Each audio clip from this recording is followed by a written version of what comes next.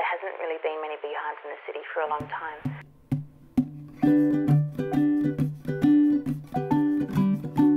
The Urban Beehive is a company set up by myself, Vicky Brown and Doug Purdy. Our aim is to bring awareness to honeybees and also give people the option to be able to taste local honey. Doug's really involved in wanting to bring awareness about CCD, which is colony collapse disorder, and the threat of varroa mite to Australia.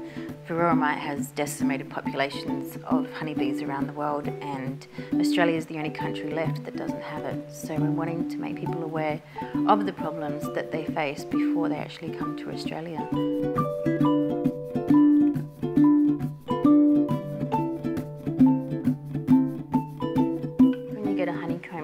Bees will seal it in with a, a, lid of wax and what we do is we take that lid off and then we place the, the frames into the centrifugal and turn it on and the spinning of the frame forces the honey out of the honeycomb cell. So it kind of draws it out of the cell and that hits the side of the drum which is on the centrifugal machine and runs down the side and we pretty much open up the tap, put a strainer and it goes straight into the bottle.